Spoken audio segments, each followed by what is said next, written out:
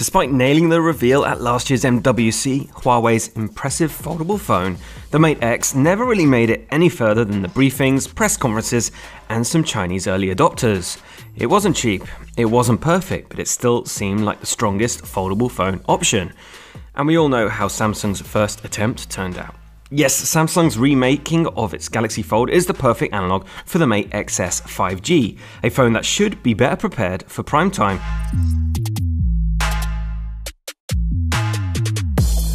Phone itself hasn't changed too much. There's still an 8-inch unfolded display, transforming to a 6.6-inch phone in standard smartphone mode. We spent some time with the device, but note that we never actually reviewed the Mate X. It stayed in China. There's still a release button to satisfyingly unfold the smartphone, and the hinge itself has been upgraded and has even more heft to it, something that the original Mate X wasn't lacking.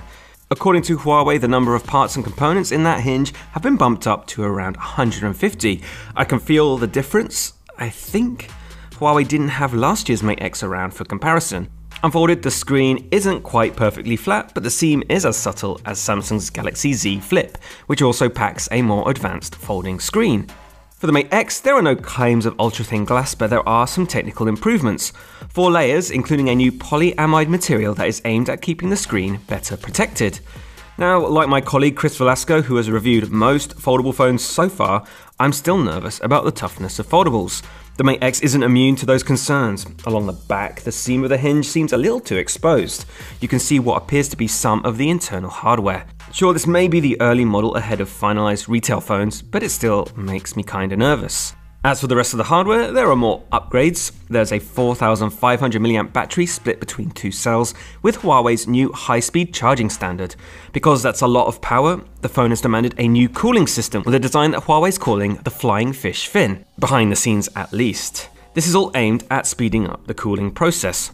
That also helps with the new Huawei made Kirin 990 5G chip, which boosts some high theoretical data speeds, although I'm still waiting for confirmation as to whether it now supports millimeter wave tech that's used by most US carriers. Not that that matters, and other phone networks around the world. Business as usual when it comes to the camera array located again on the hinge unit.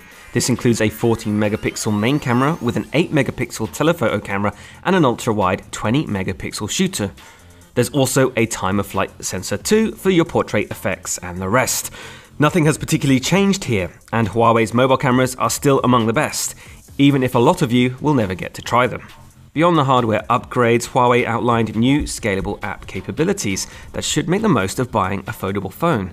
The best example I saw in my limited time was how Huawei's email app would switch UI dependent on whether the Mate X was unfolded or not. At full size, you can see and interact with your inbox tabs, the kind of view you'd get on a proper tablet. There's been uniform improvements across all of Huawei's own apps to better fit the foldable's unorthodox screen size and help strengthen the proposition of the thing. The struggle remains that it's not got the Google apps and services you expect and want to use. With Huawei's post Google devices running on Android open source project, you get the Android feel, but it's like a freshly bought phone, a blank slate that's hard to customize and use like you want to. Folding and unfolding aside, the Mate X offer makes for a pretty dry experience. I watched YouTube through the browser, played with the camera, and otherwise cast my eye across this site.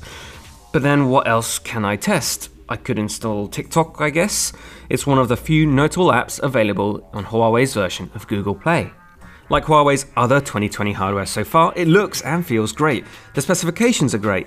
The Mate XS is an exciting, desirable product, but the reality, what if you actually bought one, is duller and the software is to blame. Huawei is offering its help and money to speed up app development and get apps like Uber working outside of Google's services. But progress is slow. If you're keen enough to hunt down APKs and get your favorite apps on Huawei's newest phones, yeah, you can do this. But according to those who have battled with the Googleless Mate 30 Pro and our own experiences, it's all a bit of a mess. Some apps will crash, some won't work. The realities make it harder to get more excited about Huawei's mobile offerings. Hardier folding mechanisms and better uses of the unfolded screen are necessary and great news. But this Google stuff remains the company's big challenge. The future of Huawei's foldables might well hinge on it.